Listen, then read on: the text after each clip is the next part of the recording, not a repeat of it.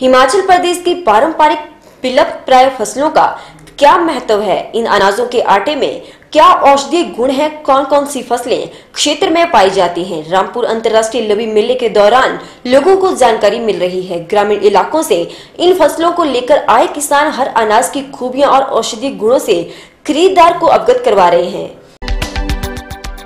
रामपुर बुशहर में आयोजित होने वाले अंतर्राष्ट्रीय लबी मेले में किन्नौरी मार्केट की अलग ही पहचान है। इसी तर्ज पर बुशहरी मार्केट को भी तैयार किया गया है ताकि खरीदारों को आसानी से किन्नौरी और बुशहरी सामान उन मार्केटों में मिले। लेकिन बुशहरी मार्केट में बुशहर का सामान और उत्पाद न बिककर बाहरी व्यापारियों द्वारा बाहरी सामान बेचा जा रहा है। इससे क्षेत्र के युवाओं में नाराज़गी है। उनका कहना है कि किन्नौरी मार्केट में वहाँ के पारंपरिक वस्तुएँ, सूखी मेवे लोगों को खरीदने के लिए लिए मिल जाते हैं और दूसरा, वहाँ के लोग अपने उत्पादों को आसानी से भी बेच सकते हैं। लेकिन, दुर्भाग्य की बात है कि बुशहरी मार्केट को स्थापित तो किया गया, मगर इस मार्केट में स्थानीय उत्पाद या स्थानीय व्यापारी ना के बराबर है। कुछ स्थानीय पेशेवर लोग बुशहरी मार्केट में स्थान लेकर उसे आगे मेले के दौरान व्यापारियों को बेच देते हैं। ऐसे में, इस मार्केट में स्थानीय लोगों को स्थान नहीं मिलता और न ही इससे स्थानीय युवा एवं किसान अपने उत्पाद को अपने मार्केट में नहीं बेच पाते।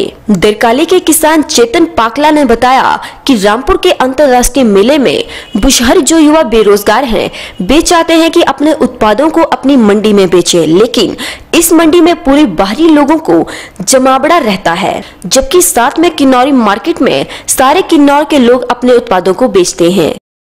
स्थानीय व्यवसायी नारायण दास ने बताया कि शहर के रहने वाले हैं और अपने उत्पाद को बेचना चाहते हैं। बड़ी मुश्किल से उन्हें थोड़ा सा स्थान मिला है। इस बुशहरी मार्केट में अधिकतर बाहर के व्यापारी दुकानें सजाई हैं, जिससे क्षेत्र के लोगों को मुश्किलें हो रही हैं। मैं, मेरा नाम नारायण दास है।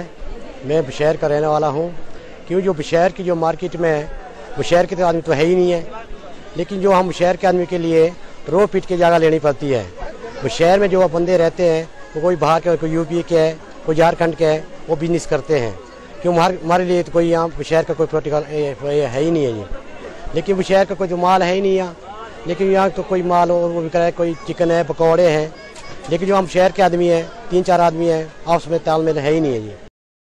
नगर परिषद के पूर्व उपाध्यक्ष हरीश चंद्र ने बताया कि उन्होंने बुशहरी मार्केट इसलिए स्थापित करवाया था ताकि बुशहर के लोग अपने पारंपरिक उत्पादों, अनाजों को यहाँ आसानी से बेच सके। लोगों को भी पता चले कि उन्हें पारंपरिक फ़सलें वो उन्नी वस्त्र कैसे थे, लेकिन आज हालात बदल गए हैं। कुछ लोग बुशहर के नाम से स्टॉल लेते हैं और सबलेट का धंधा करते हैं।